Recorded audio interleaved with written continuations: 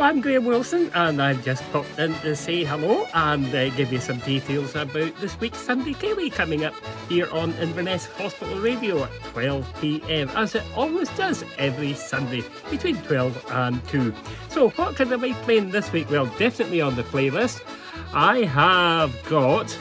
Let me see. Oh, got Lindsay Ross. That's a good opener for the start. Then there's Trudi Lalor. Uh, Charlie Cowie, I've got William Williamson, singer from uh, the uh, Borders. Then the next one, I have got Paula McCaskill, Riders in the Sky, Manus McGuire's in there, Jeannie C. Riley, Tom, uh, Tom Alexander.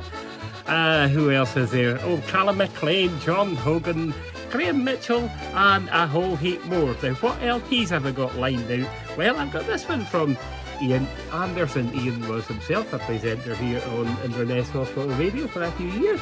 So that's Ian Anderson and the Scottish Dance Band. And then uh, there's this other one. Uh, that's a great cover, isn't it? Iain MacPhail and the band.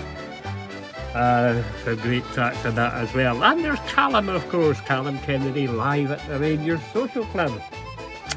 And after that, there's also Jim Johnstone. I'm sure Derek Edmond will enjoy hearing whatever is on this one. And that's a great LP of Jim's Government Health Warning.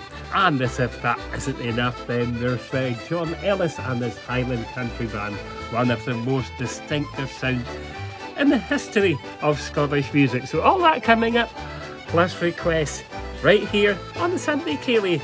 That's all from me for now. Take care of yourselves. Till next week.